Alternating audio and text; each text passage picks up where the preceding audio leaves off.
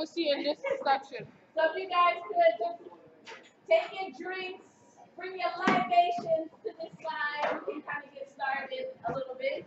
Uh, so you've been listening to the sounds of DJ Shatterproof. Here some Connecticut by way of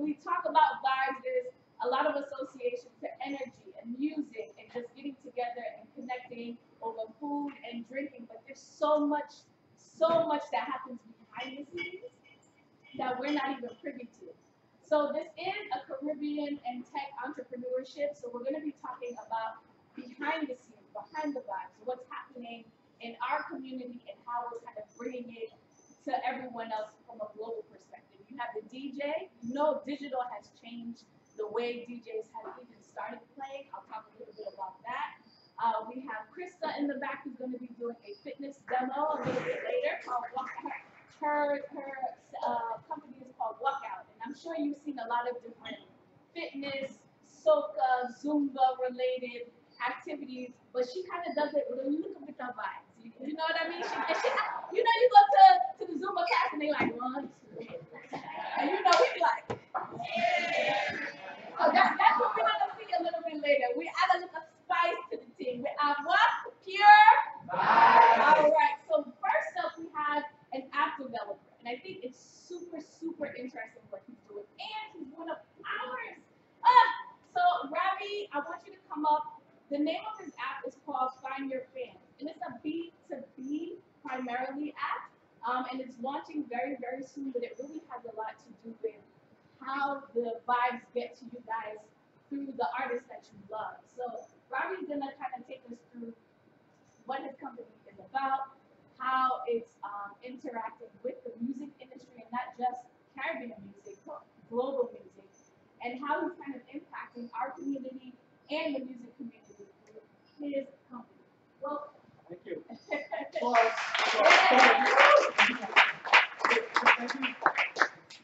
So my name is Ravi Ramkeesoon, uh, and I'm really happy to be here and honored to be here. Yes. yeah, Um, especially.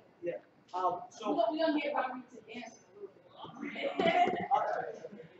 so Find My Fans is essentially a data analytics tool that analyzes data from social and streaming sources for bands and artists around the world. Uh, what does that really mean? Well, essentially, we're taking data that artists and bands are already generating and putting it on an interactive map. So what that means is an artist who does who has no idea how to use data or knows why it's important will be able to visually see their fan base, their streams, and their likes from all over the world. That sounds like it's not very appealing, but as it turns out, when we were doing market research, these artists, big and small, they have no idea where all their fan base is located. In the digital world, in the streaming world, music goes everywhere. And there are pocket communities of listenerships all around the world. You talked about soca. I, I, I saw so, uh, in Zumba classes in Singapore. Uh, so it's getting out there and people don't really understand it. We've analyzed data from big and small artists, millionaires to people that are just coming up. They've had fan bases in places across the world that they had no access to. And that's when we decided that this is actually something real. This can actually help artists, by the way, who are entrepreneurs, um, music entrepreneurs, just like myself, kind of take their their game to the next level because in this this ecosystem, the music ecosystem, where you're being booked is the only source of revenue. So if you can ex expand that network, you're essentially putting more money in and we think this is going to be massive, and we've been promoting all around the world. And we launch in, in November, and we've only had uh, good vibes Good um, when we introduced this to young entrepreneurs who, you know, they call themselves performing artists and you know them as singers, but when you really get to know them, they're entrepreneurs. They understand the business side of the game, and every so often they'll write songs and they'll, put it out. But as soon as that's created, uh, uh, that's created, they go back into business and marketing mode. And um, um, the similarity between all entrepreneurs and people in the music industry is really the same journey. Uh, so we know this is going to be big, and we're excited. And uh, you know, I'm pretty. So, and, and by the way, Oh, cue it.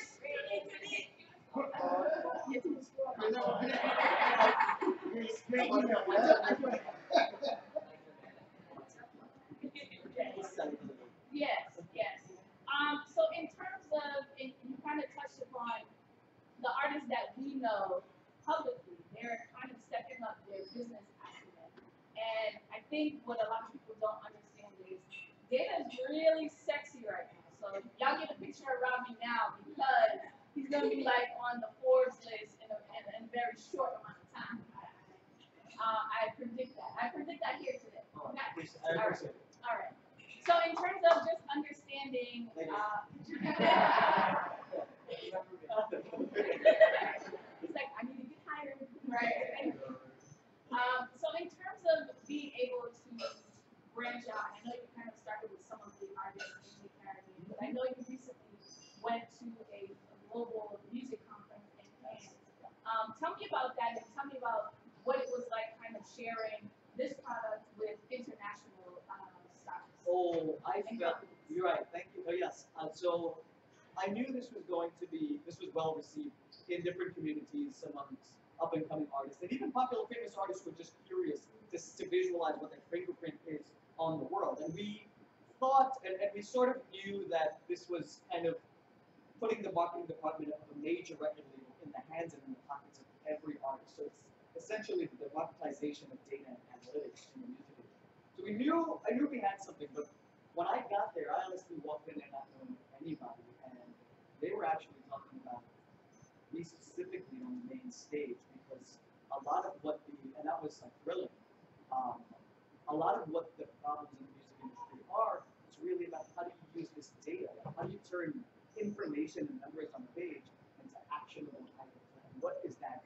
like, you know, what do you do with it? And we figured out what to do with it. So a lot of what we're going to be doing is combining uh, data sources and overlaying them on top of each other. So what that really means is for the first time, people are going to see in one stop like all their streams, all their tweet locations, where their followers are coming from. And this is all, we hope that it's going to be free for everyone and we're monetizing it differently, but we want people to use it uh, and show us what they're doing with it so we can kind of add services in the long run. But we, like, I honestly felt, I'm glad you asked me this, but I honestly felt like I won minute because I, you know, I was in France for the first time in my life, but like just the feedback from the artists, even afterwards, you know, it's not just the conference here.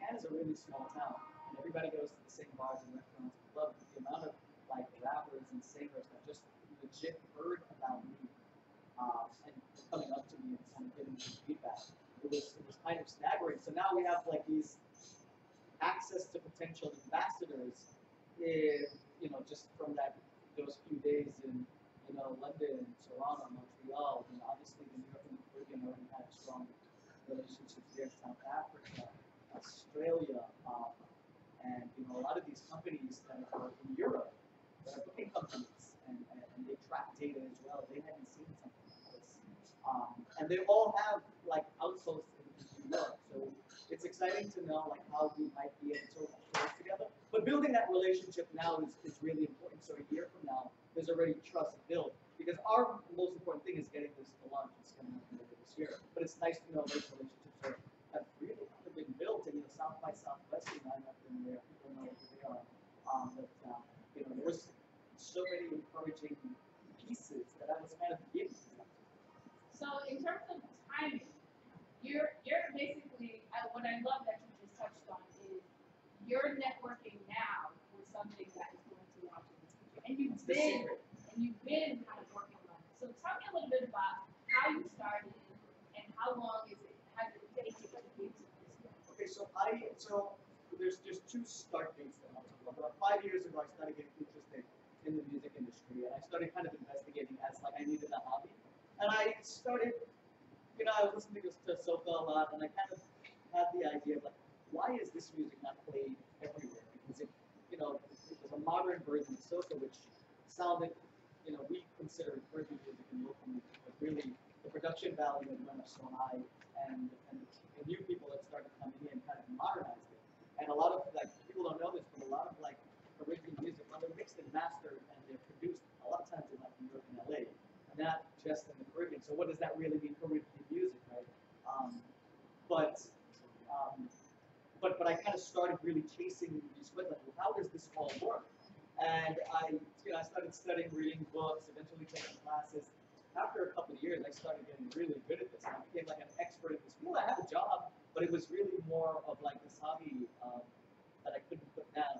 About two years ago, two and a half years ago, I said, you know, I could actually turn this into something because was still focused on the Caribbean world, and there was just such a lack of like business talent um, in the Caribbean world. So there wasn't a lot of great managers. There were few, but there seemed to be such a large disparity between the amount of performers we have and the amount of business talent that we have. So I started kind of looking at that.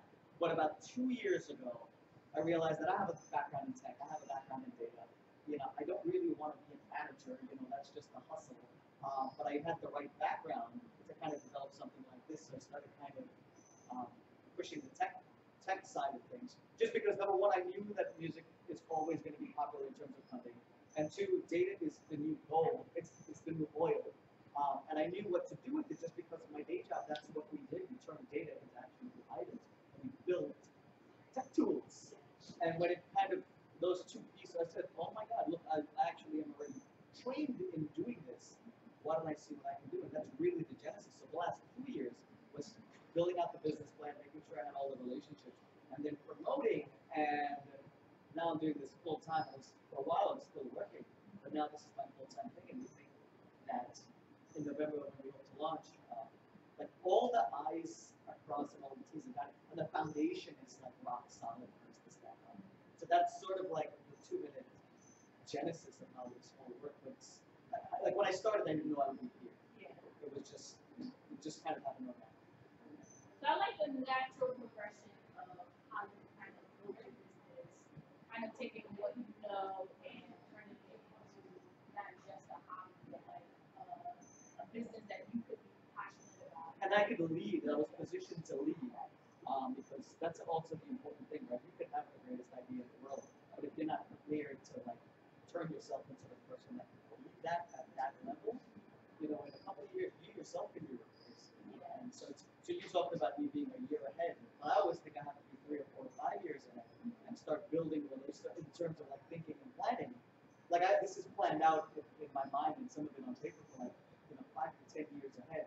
So like I'm building relations. So like the stuff that I know already, that's already being developed. So now it's about okay, what happens in the next year that I can start building today. So you always have to be a step ahead, and that was the interesting part of this. The journey is like always being a year ahead. So like some of the stuff that we're putting out now, to me seems like I, I'm always excited when people are excited, but I've seen it for so long and I've thought about it for so long that like I'm already thinking about they're gonna lose their minds when they see the next step. You know, so it's it's it's it's a strange process. But it's layered. It's it's layered, yeah. So you're always kind of living in the future. of it. So I know you probably have a few questions. If you don't, me and Ravi can keep going. But if you guys have any questions, let us know. No. I have a question. I'm interested in finding you on social media. I've been searching for you. Oh, shout out to. Oh, just you look at my name. It's Ravi R A V I last name Ramkeesoon. I can spell that. How many of you R A M K E E S O O N? That was so fast. I'll get it. Yeah. I, I, see, I look back there. I thought it was- Oh, you got it.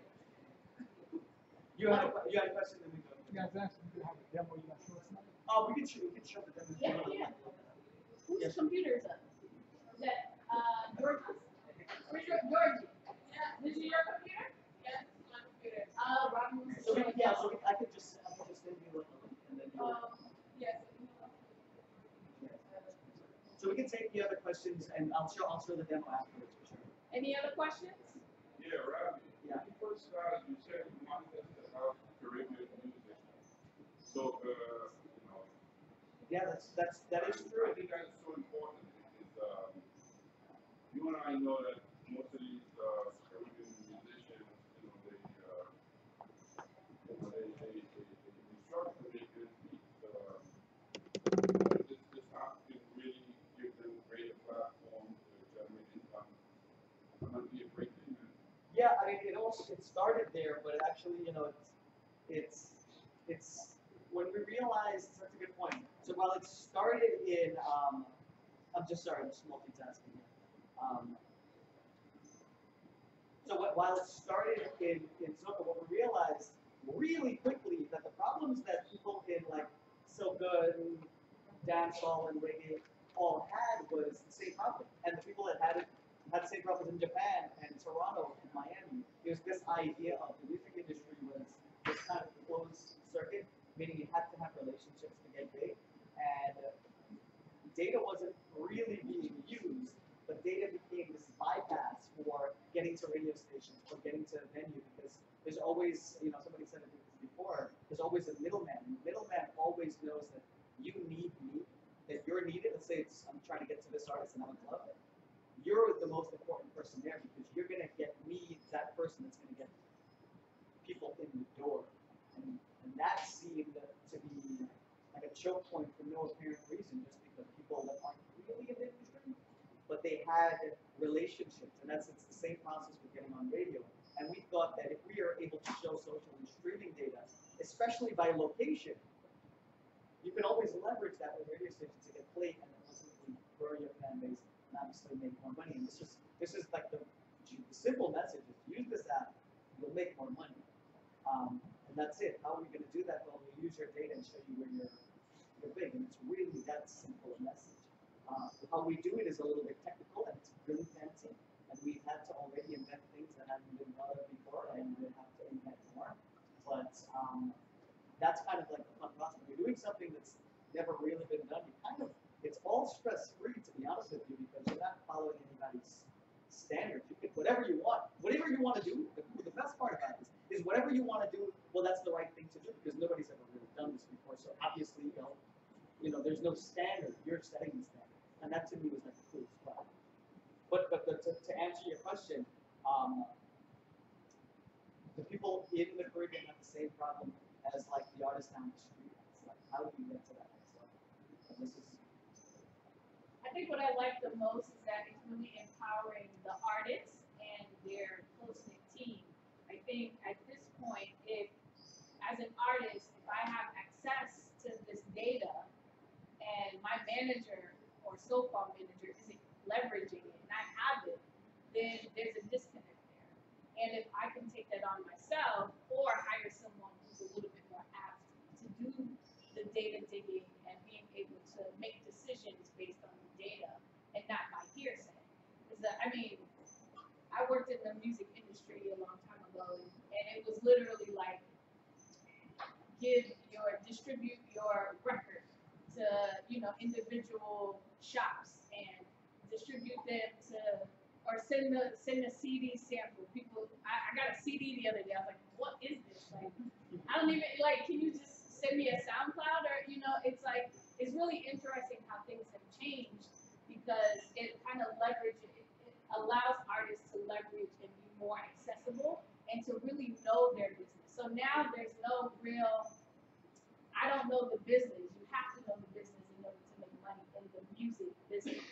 Um, you can do it and just travel and you know do it as a hobby, but if you really want to be a solid artist, there's no real reason now to kind of not, you know, be able to push yourself beyond beyond the creative limits. And I think a lot of a lot of artists they really just want to be artists and they just want to create and they just want someone to tell them what to do and how to do it. which is why they rely so much on uh, managers, the booking agents, uh, and labels. But as you can see now, like the labels are giving out like 360 deals where they make money from every part of your merchandising, your touring, your music licensing. Now they've added streaming into what counts as record plays. So Cardi B went platinum six times, not because she sold that many records, but because she streamed 300,000 times in combination of Spotify, Pandora, and, and YouTube. So that, those things were not heard of. Sure, yeah, so there's a couple of things. Um, there's a couple of things, Justin, you're right, and, and the idea of like a booking agent, to get a good booking agent, you already have to show like fifty thousand dollars, in New York, you have to show like fifty thousand dollars in like the booking fees already. So that already kind of puts you at like a mid-tier type touring artist, which a lot of people just, they're not at that level, there's so many people that, that aren't at that level, and record labels that are like now like venture capital investors, um, like in the tech world. So like they won't talk to you for like a, a you know a big deal unless you're already ready to go to like the one percent, right? So our value proposition, or another one of our value proposition, is yeah, great, you're servicing the 0.1 percent of artists that can go globally. But what about the the other ninety nine point nine nine nine percent artists and bands out there? Who's taking care of them? No one. So that's why we think that we'll be massive, just because there's so many more people that we can serve.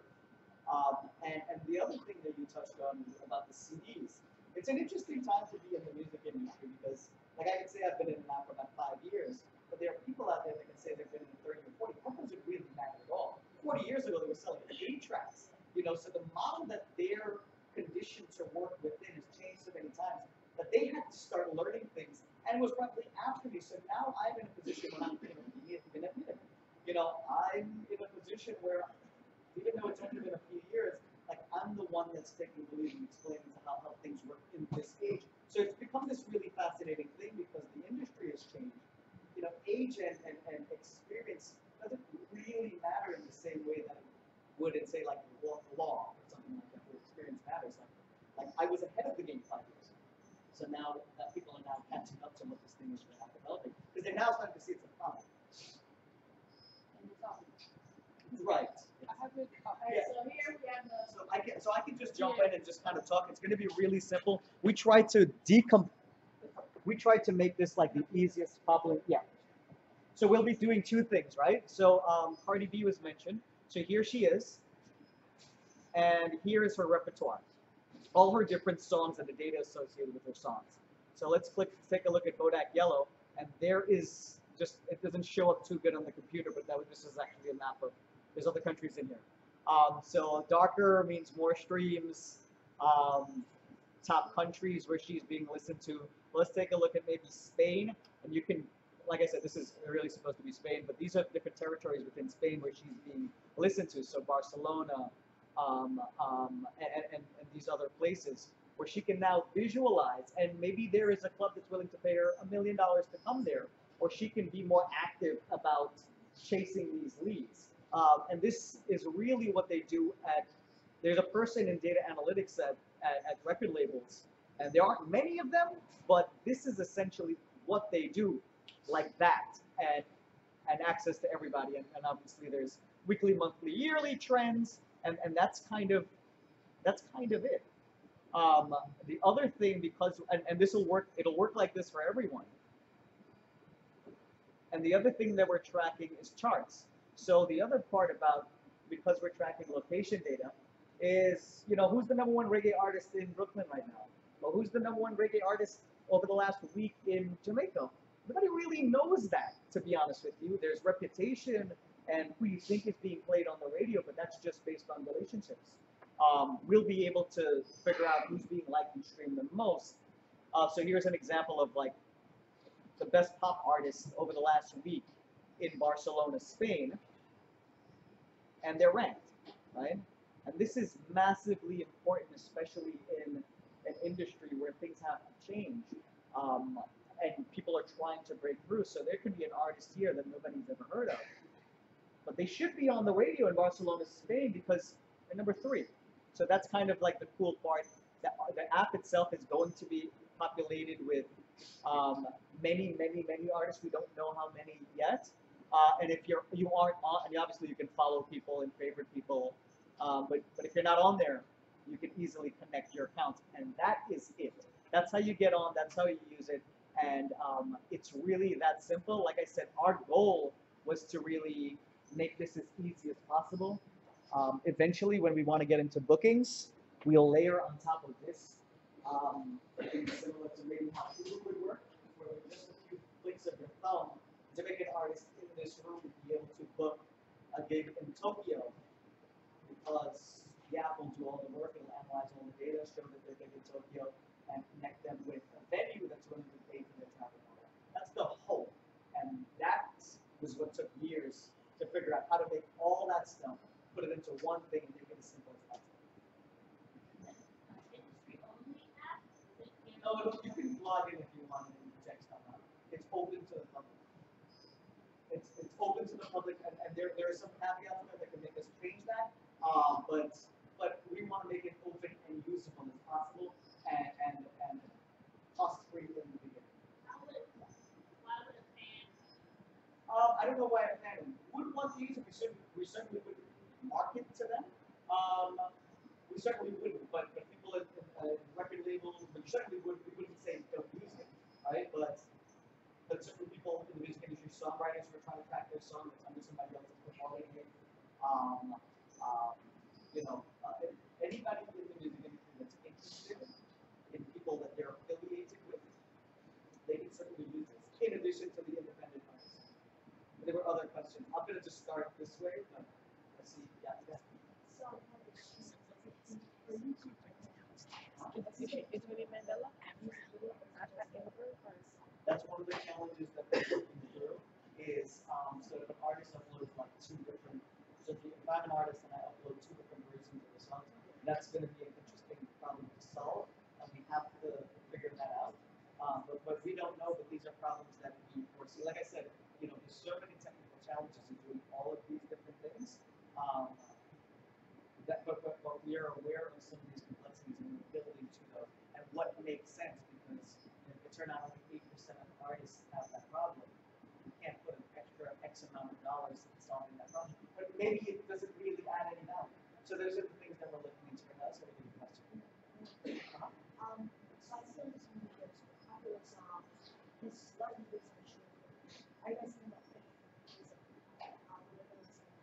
So, say, say it again, an algorithm for um, discovery. discovery, I mean, not, I mean, discovery, so it's not really meant for fans, so you're not gonna discover music, but the search button up top, on the top right, uh, you could be, be able to search for song and artist, and if you're not, if you can't find the song and artist there, you would have, you would get an option to connect accounts. So that's how we're gonna cite the smaller artists that might not be on there. Okay, last two questions, one,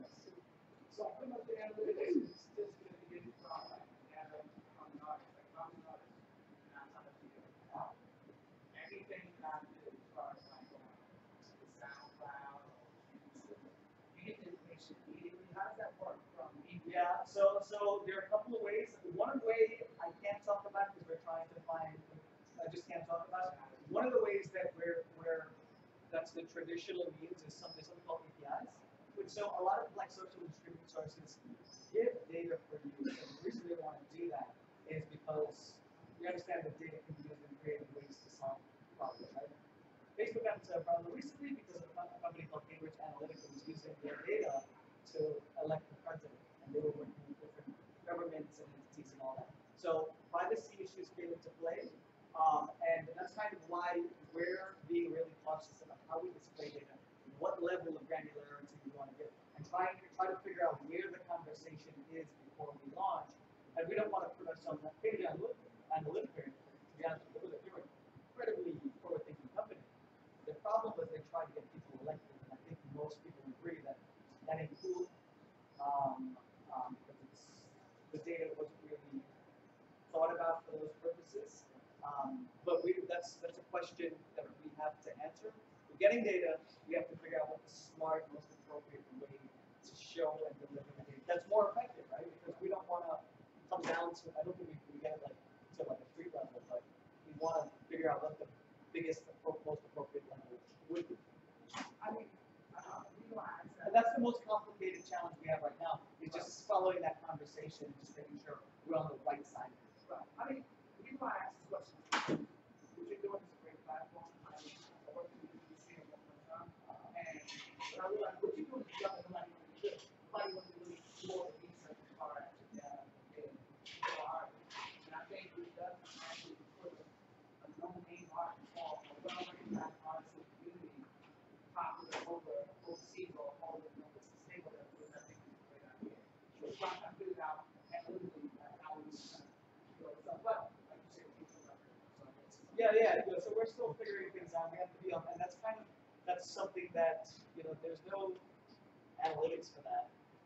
The answer to that question, actually, getting data, it's a question of what- what's the smartest way to represent this data that's most beneficial, but at the same time, doesn't create privacy.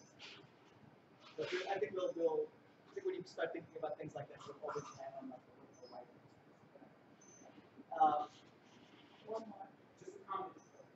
I find your actually extremely empowering for the artists, but also for the fans. Because in actuality, if you live in Syracuse or if you live in Iceland, and you actually know that your demographic loves this one artist, so many times on Twitter, you see someone say, hey, you should come to my area.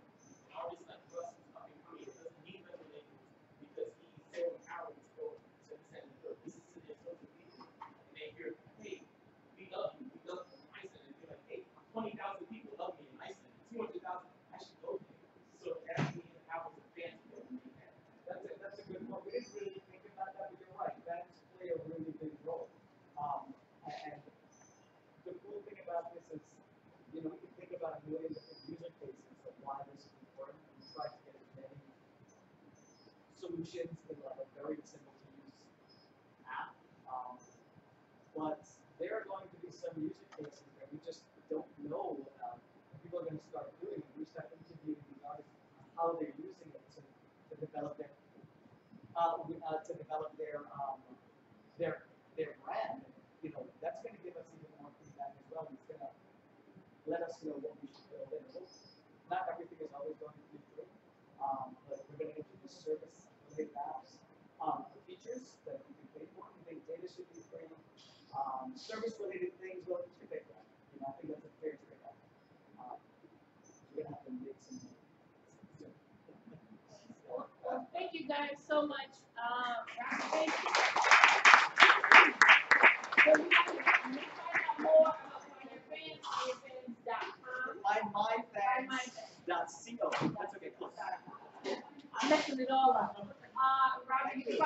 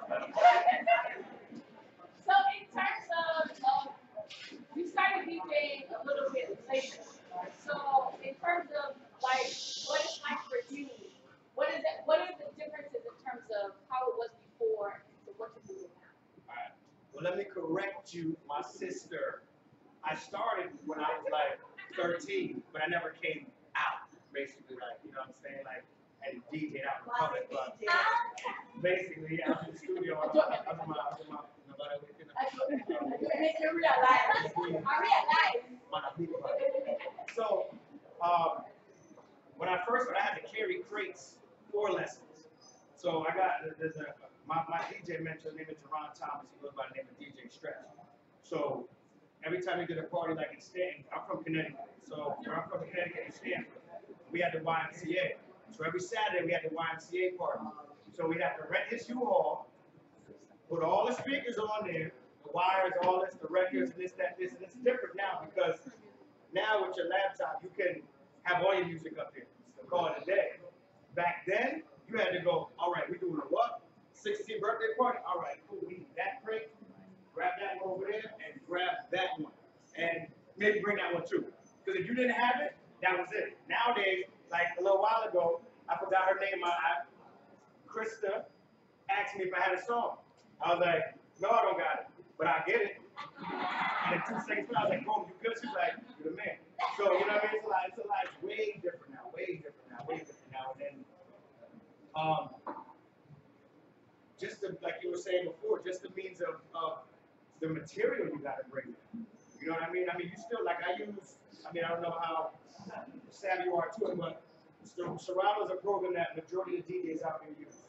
And you have, you have, in, in Serato, you have a program called Scratch Live, where you have the old school DJs that still bring their turntables.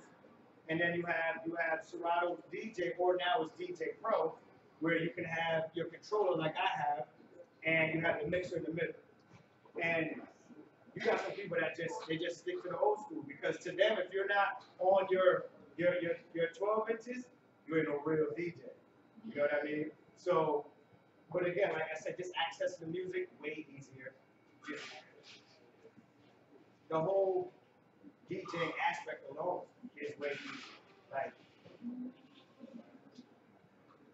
It's easier. yeah, like, But in, in a, in a sense, the path in terms of what you can do as a DJ has completely shifted. Um, back, like, a lot of DJs were traditionally also producers, but now DJs themselves are becoming personalities, radio personalities. I mean, DJ Khaled didn't really pop up out of nowhere. He started doing the same thing. And essentially now he's having his own partnerships with like a T-Mobile. He has all of these different brands that he's working with. And as a DJ, how do you kind of create a lane and a path for yourself? Like what are the, some of the things that you're doing for your career to kind of stay in, in a lane that, that, that you want to go in terms of what are your goals? well, it's, it's funny. I think I was just having a conversation on Emu, there's a gentleman sitting right there that also DJs. And I was saying to him, like you said, DJ Khaled, Lil Jon, DJ Mustard, all these other DJs. Jermaine Dupri, I That's what should I'm saying, say. or even, that, but all those other DJs, like, how many of y'all right now ever seen DJ Khaled DJ a party? Or on TV, on YouTube, ever seen him behind turntables, anything? Or DJ Mustard? Lil Jon, you did? In the nineties. Oh, the nineties, oh, the, oh, okay. Oh, yeah. Well, see, me personally, I never, I never got a chance, I never seen him back there. When I heard of DJ Khaled, is when he take, he take, he take one person from every side of the world and put them together and make a hit. That's his, that's what he's known for, that's his, that's his niche, you know what I'm saying? So it's like, I said it to my, I was saying it to myself, I wanna start producing my own music. You got like Calvin Harris, he's done, he does EDM, a lot of y'all probably know his music. He's the richest DJ in the world, period. Out of all DJs, there's a quadrillion DJs, and he's the richest one. I made that up. I made that up. That- that- you know that's a lot, though. You know that was a lot. So that, and, and, and that's because he can play a party for four to five hours and play only his music, and they're all bangers. like, you know what I'm saying? You're gonna rock out the whole night. Nobody else's music. And you got things like that what put you on the map because not only did you make it and you producing it's your song, but now everybody else want it because it, it, it, it's it's ringing bells and everybody loves it. So you gotta have it in your playlist because they're gonna ask you. You know what I'm? So me trying to start my own lane is, I guess it's not my own lane, but that's the the lane to be it. If you you know what I mean to be successful because I mean I could DJ house parties and weddings and clubs until until I can't DJ no more. But you know, eventually that that's not where the money is. Being realistic, it's not where the money is. It's it's, it's making your own music, and you know what I mean, and becoming becoming a a, a, a- brand. You know what I mean? So that's the lane I'm trying to do. I'm trying to brand myself. I, I was just saying it maybe two weeks ago, but I'm gonna stop wearing everybody else's clothes. And just start wearing my logo on yeah, for real, my logo on my T-shirt, my Scully when the wintertime comes, and scarves, make socks, you name it. Just wear my own. So when you see it, you're like, oh, that's oh DJ Shadow, okay, that's cool. Or you might be like, where you get that from? Depending on you know it's outside, you know, you know, you know, you know me when we're ready, you know, know. So, you know what I mean? You might be like, where you got that from? I'd be like, oh, I get you on, you know what I'm saying, for a little price, price. A little something, So so. you recently partnered with Ruff Ryders. I know it's kind of like a nostalgic name to a lot of people in the room. Um, but they're still going strong, Spruce Season, Redmond Park. And they have a new radio app, and you are the only Caribbean DJ on the app. So in terms of, you tune in on Wednesdays? Wednesdays, well, first of all, you gotta download the app. So from the App Store, anywhere, it's Ruff Ryder Radio.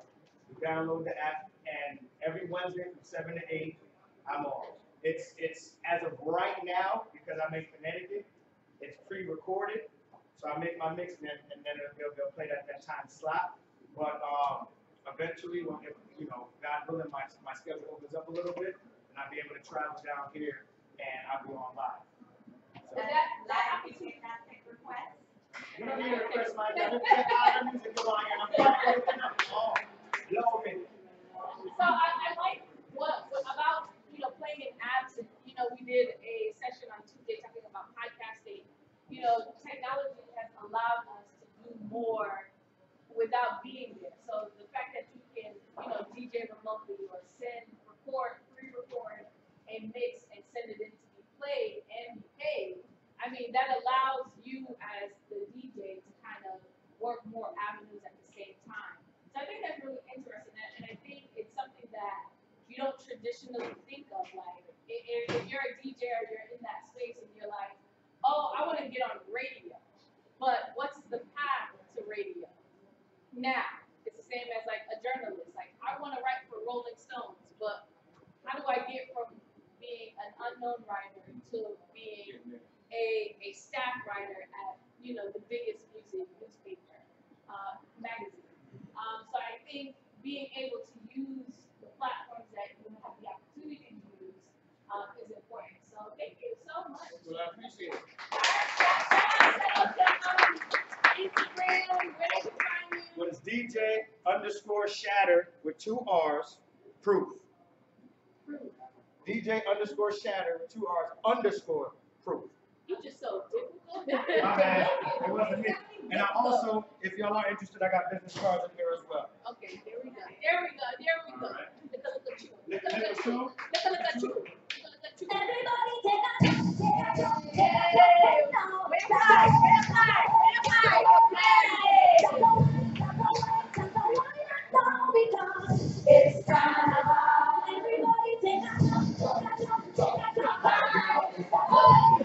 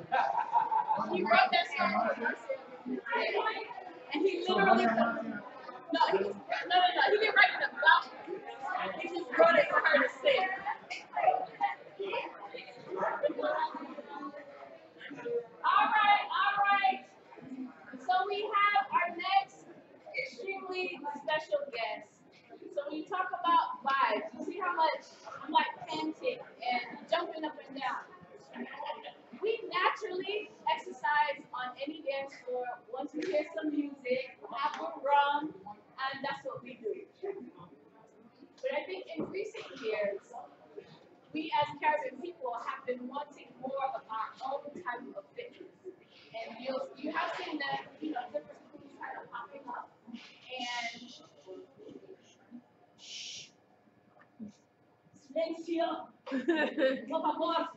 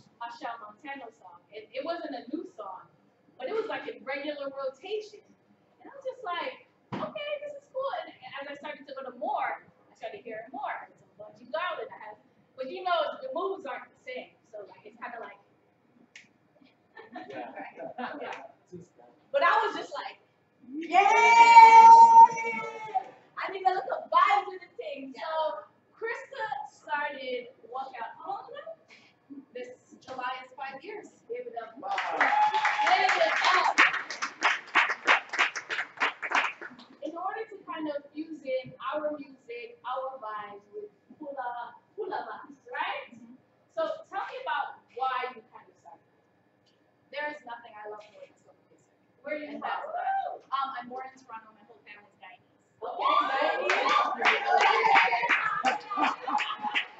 Um, Guyanese are heavy in here.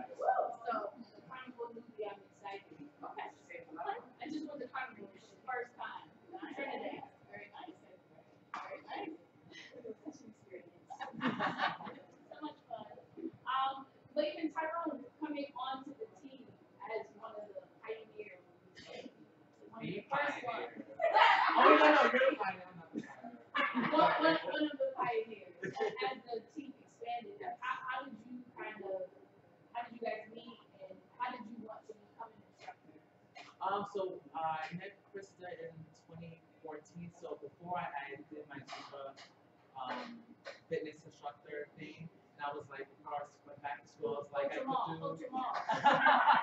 I was thinking I could do Zoom on the side, make, make some extra money while, while I was in school, and then I was I joined the YMCA, and I walked past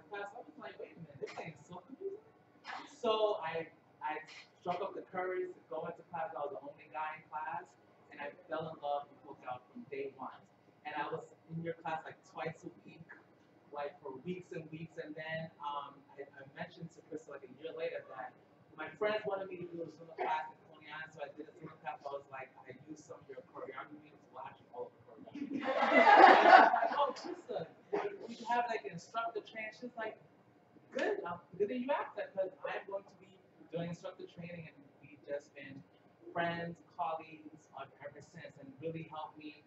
Um, it's really I love fitness and dance together. So it's been a great journey. Awesome. Great journey. Awesome. So you guys are actually in for a treat. I know anybody that had like some sneakers on, I had some flats on that would like to participate with me.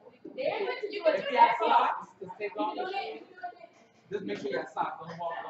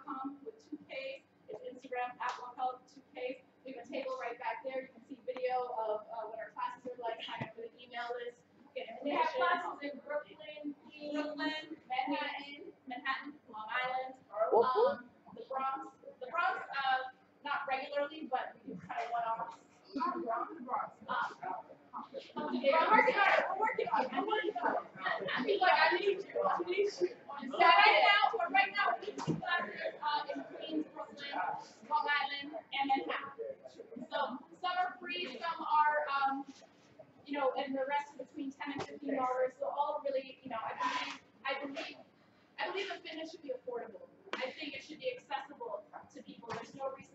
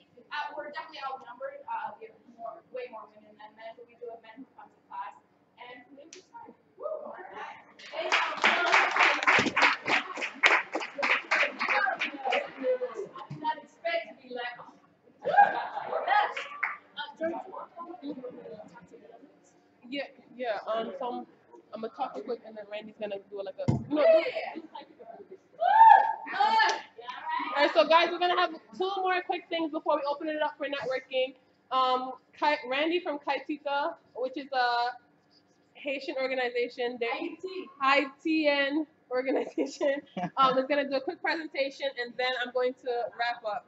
So just give me.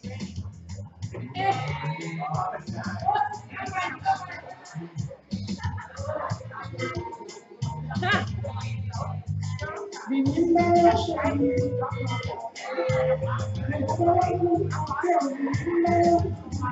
it up for the DJ.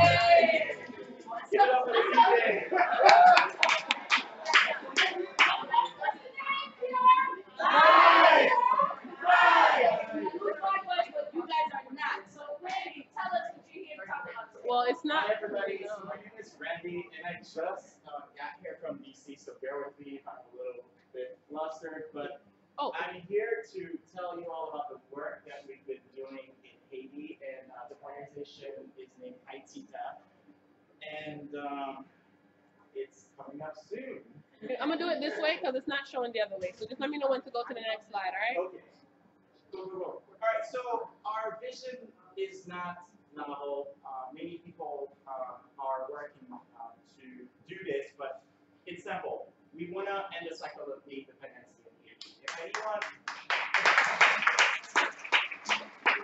um, especially after the earthquake, um, Haiti has become this, uh, you know, this space where it's just NGOs everywhere, and um, all of, and, and there's a lot of interventions, and I, I have to trust that they're well-meaning, but the fact is, it actually disrupts. Uh, uh, it, it's definitely not sustainable. So I, I'm pretty sure I'm preaching to the choir right now, so I don't need to go into the details of why. But what, and uh, you can go to the next slide there. Oh, sorry, the mouse. Okay. You're offline. So some of the pretty pictures aren't loading, but the important Let me uh, try to make it connect. the information at least is there. But basically, so our mission, so we're we're attempting to do this um, in a couple of different ways. And the first is we actually launched a um, a resource. We actually launched like the first impact hub in quite possibly the Caribbean. I'm not sure on that, but we opened the first impact hub in Haiti um, this winter, right? And the idea is um, in, in a country that is uh, that lacks so many resources, we found it really important to, to create a, a safe space for people to come and experiment, exchange ideas, collaborate, just as you all have benefited before, just as we're doing here now, right? And uh, one of the, I mean, the obvious values, some of the things that we take for granted here like electricity, internet, security, like air conditioning, even though I'm not sure one is on right now. but these are uh, these are some of the things that really, you know, like these, these are some of the luxuries that enable us to actually, you know, like achieve our goals, right? And without that, it's it's it's it's makes it that much more difficult. But what's really interesting is in the time that I spent down there, it, I'm always so amazed by what by what so many are able to do with so few, so little, right? So we definitely uh, see that potential, and we uh, and and what we're doing is we're attempting to provide some of these resources, right, to enable them to do that. Um, so and of course, none of this means anything if it's not done with authenticity, if it's not done with respect, if we don't honor uh, the space that we enter, right? And another flaw in a lot of the um, uh, interventions that the nonprofit Adult Spiro Complex does in Haiti is that they come and they prescribe the solution because you know it's that whole like expert where like I know what's good for you, so then I tell you how to how to live your life, and this is uh, we won't get into the politics of that. But what we do is we actually aim to empower the people, right? So like they know what they want. They're already on their hustle, right? They're already artisans, like selling their peanut butters. They're like making their like uh, leather sandals and like hustling it from everywhere. So what we offer them is our um, ideas from our experience. Uh, um, and I myself on the board, uh, I'm a software engineer. So when uh, it comes to you know like uh, helping them strategize on how to you know like level their technical uh, level up their technical uh, ideas, right? So that's one of the spaces where I contribute. But we offer everything from um, uh, all, all types of men- mentorship and uh, and things like that. Let's go to the next slide. This thing is, is not work. Technical difficulties. Cool. So we started in 2010, and uh, up until last year, the idea was about community building, right? Um, and obviously, 2010 was uh, when the earthquake hit, uh, which is when uh, David, our founder, uh, who's here, he went to Haiti to reconnect. He reconnected with his mother and noticed how his mother's house was actually one of the um, launch pads for a lot of the uh, um, like rescue efforts that were happening in area, right? So then he saw, uh, he, had this vision to actually like make, uh, and actually her, his mom's name is Tita, and Kai Tita means Tita's house, right? So uh, he saw this happen, he saw, he had this vision about how Tita's house could actually continue to function as this launchpad for, um, for these uh, efforts to actually change the community, right? So um, if you go to the next stage, so what we did is by opening Impact Hub um, this year, we start. This is the MVP, right? So it's already operating, and there's already uh, a lot of a lot going on um, uh, down there. Um, a lot of different sessions, uh, just as the ones that I've benefited from through Illicit Mind, and then, but basically helping people, uh, empowering people with knowledge first, right? And also networking, right? Making introductions and things like that. And also, um, so, and, and the long, the long-term vision uh, for the space is by 2020 for it to be a fully sustainable place running on like fully solar powered with like, you know, all the usual, and also that's very also, um, I forget the term, but that's like earthquake proof, right? so, because that's something, something that we're more mindful of after 2010, So where, where is this located? So this is located in the capital city, as is everything else, right? So uh, it's very uh, everything is centralized in the capital city. Um? How many nations are in the house? All right, cool, cool. So we're in Turgeau. Um, that's like. yeah. So um, so yeah. So that that's that, that's the vision, but we're we're getting there one step at a time, right? So first we open the door. Second, we're working towards uh, actually um, having um, a uh, launching a hostel, right? So that when um, and I'm gonna get into the diaspora of the next initiative that we're launching, but the idea is to be able to uh, fund um, the social impact side of our projects by actually having, uh, you know, like uh, like business side of it, right? So sustain. So we're looking at sustainability in all in many different facets. Uh, next slide, please. The thing that, uh, that another thing that's very exciting is that we also have been, and this year will be the third year that we are hosting the one and only uh, startup week in Haiti.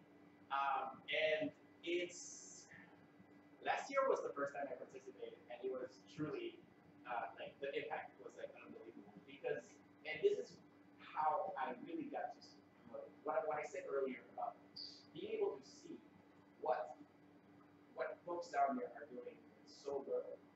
I got to experience that firsthand. I got to, you know, like to go there, and I don't claim to be an expert in anything, but to bring just a little bit of knowledge that I have, and to be able to ideate with them, and it was so amazing. But uh, so, how many have been to a startup week event uh, here in the states? Okay, quite a few. Basically, it's a week. It's, it's a series of uh, events um, uh, that take place over a week, and uh, it touches on everything um, um, that has to do with business development, right? So from your marketing to you know like your professional headshots, right? To uh, to again like uh, mini tech sessions, both on demos and things. Uh, so we will. So it's coming up on August the third, August thirteenth, and if you go to the next slide. So these are some of the problems we're, we're, we're tackling, right? And I'll be sure to, to make sure that the slides are available. We're basically trying to look at it at every uh, side, right? Both on personal development to actually tackling the macro problems that, uh, uh, that the society is facing, right? Next slide. Um, and this uh, slide has the contact information for for, uh, for the Impact Hub. Uh, which see if we'll make it later. And then if you go to uh, this slide right here, so the Diaspora Connect initiative, that's the one that I'm, I'm here to, uh, you know, to talk to you all about. So basically, so our, our mission is twofold. One, we empower the folks on the island. Two, we want to make sure to connect the, uh, those of us who are here, professionals who are here, to actually bring your expertise, bring your knowledge, bring your resources to the island so that we can collaborate together, right? We definitely are intent on, uh, on reversing the brain drain, right? And to make sure that we can, you know, make big things happen. Thank you for your patience. and- Any questions? No, I'm gonna say like a last thing. Yes. No, that's just me talking and then closing. Is that how you're gonna can close it? Oh, you're gonna close it? So No, right you can, you now, can do your close out and I'm gonna do are the able site. to invite people down, but if you are able to come down, then you, you know, like, we will, you know, like, we, we're looking to collaborate. One of the things that I is I hackathon there, and I'm definitely looking for, uh, for designers and also, uh, experienced entrepreneurs to be mentors, right? And that will have additional component to it, and we're actually gonna be collaborating with, um, Yoli, hi Yoli. We're gonna be collaborating with Yoli from Steamroll. She'll tell you a little bit about how the app is gonna actually enable us to do that, and the idea is to enable people to like do like remote mentorship, right? Excellent question. Yes. You grow or have to change to Uh, Yes, ma'am. yes, Haiti Tech Summit. I have not had the chance uh, to uh, attend. And the way I see it, Haiti Tech Summit, like in us, we are like we're in the same sandbox, right? This is why I said that the mission is not it's not our, but it but we're you know like we're here, you know, doing our part, right, to you know to change those things, right? But they do they do great work. Something we're doing is kind of like sustainable groundwork. Whereas you're doing good work with free. Exactly, exactly, right? So, um, as I understand, you're taking the top-down model and we're taking the bottom-up, right? So we're working with the, we're working with the, uh, un- uneducated, illiterates, and also just the people who just don't have the opportunities that we're have, right? So, and then, you know, like, we're looking to like, yeah. My friend has a business called Old Master Route. Okay. It's like a, um, Actually, it's a beauty company. Oh, nice. Someone, I mentioned someone else, I recommend it. Okay, right on, yeah, that's, Stop, just another one. okay, yeah, please. So Well, thank you so much, Randy. I know. We're at that time where I am going to stop talking finally and give you guys some time to kind of network with each other. DJ Shatterproof, I can play some tunes. Um, thank you so much, Georgie. I know Georgie a few announcements about, uh, CITE, CITE week, what's happening tomorrow and all that good stuff. So thank you guys so much and we'll be around. Georgie, on